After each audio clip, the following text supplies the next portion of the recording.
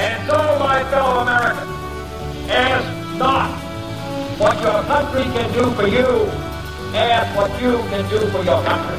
My fellow citizens of the world, ask not what America will do for you, but what together we can do for the freedom of man.